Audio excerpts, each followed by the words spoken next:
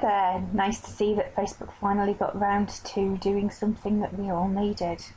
Um, as pointed out by Michael, we now have a proper edit function.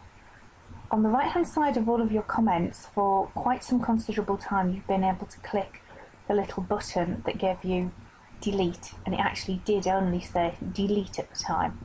And within the first few seconds, you could go in and you could delete it. Now you can click and you can edit your comments and just go through and you can correct all those little spelling errors. So this is going to save me completely highlighting it all, deleting it and reposting it because if I spot a spelling error I'm a pain in the neck that has to go and change it. Don't know if you're quite like that. I hope it's going to be helpful to you. Thank you very much for Michael for getting a conversation started on this and we look forward to seeing what you do. You know where to come fb.com forward slash the social media cafe.